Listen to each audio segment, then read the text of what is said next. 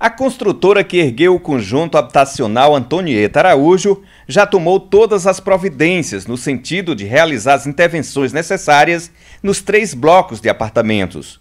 Uma empresa especializada foi contratada para fazer um estudo para identificar as causas das fissuras e apontar soluções. A empresa construtora incorporadora Soma, ela contratou, né? A gente contratou uma empresa especializada, que foi a empresa também que vendeu esse sistema para a gente e essa empresa ela veio e fez uma visita, um relatório técnico, no qual foi enviado para São Paulo, onde o calculista analisou todas as fotos enviadas e também a, a aferição visual, que foi feita pelo engenheiro Marcelo, onde ele fez esse relatório e mandou aqui tudo para a gente, como é que a gente tem que fazer as correções, certo? Lá não existe risco eminente de desabamento.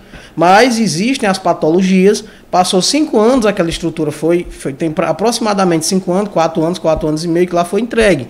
Então houve sim uma acomodação e desse tipo de sistema construtivo, como ele mesmo diz aqui no laudo, é, é, é normal para esse tipo de, de construção, já que lá é, não é o sistema convencional, é o tipo de, de casas pré-moldadas, né? paredes e painéis de concreto pré-moldados.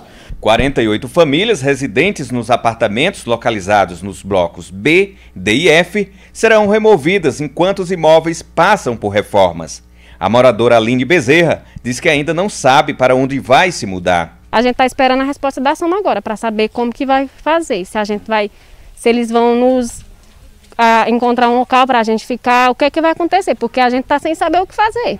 Há uns quatro meses atrás está piorando. São rachaduras, são vazamentos também, tem a estrutura das casas assim por dentro tá ruim, tem vaso sanitário solto. Muita, muitas famílias reclamam de, de, desses pequenos problemas. A Defesa Civil falou, perguntou para o rapaz que veio aqui se ele teria coragem de dormir aqui, passar a noite aqui. Ele disse que não.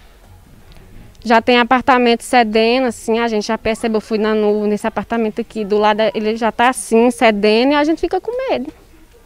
O secretário municipal de Defesa Civil, João Araújo, afirma que as famílias serão transferidas para outros apartamentos do mesmo conjunto habitacional que atualmente se encontram desocupados. Nós vemos aí há quatro meses já fazendo esse acompanhamento a chamado dos moradores, né? É, podemos é, presenciar pequenas trin é, trincaduras, é, fixuras e algumas é, lajes até já se desmontando das estruturas. É, anunciamos no primeiro momento que nós iríamos interditar os blocos. Eles contrataram um, um técnico de Teresina para vir fazer um laudo de solo para que pudesse é, ver o problema. Esse problema eles também viram que foi o solo que, que se movimentou eles deram uma previsão que em três dias resolviam. E se eu pedir a eles para descartar essa possibilidade? E sim, marcar para os moradores a data de iniciar. Porque lá em três dias não faz nem a pintura no cômodo, veja, dentro de um prédio. Pode botar o tanto de gente que colocar. Lá tem muita coisa para fazer. É, eu digo para você aqui, como secretário da Defesa Civil, o que eu presenciei lá é uma coisa assustadora. Viu? É laje solta, sem uma pequena estrutura para oferecer para aquelas famílias. Nós estamos aqui para defender as famílias, prevenir que não aconteça o desastre. Porque depois de acontecer não temos mais o que fazer, vamos só procurar quem for o culpado. O conjunto habitacional Antonieta Araújo, que conta com 384 apartamentos, foi construído pelo programa Minha Casa Minha Vida do governo federal. Os imóveis foram entregues aos beneficiários há mais de quatro anos. O engenheiro acredita que as intervenções serão logo concluídas e tranquiliza os moradores em relação à segurança. As correções, conforme está aqui no laudo técnico dele, conforme ele colocou para a gente executar, é, seguindo essa cartilha, esse manual técnico dele, que ele nos mandou, o pessoal pode ir sem risco algum.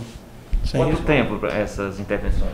Essas intervenções, o programado que a gente tem é terminar em dois meses, mas é o todo. É o todo. Todos os, os três blocos que estão apresentando essas patologias.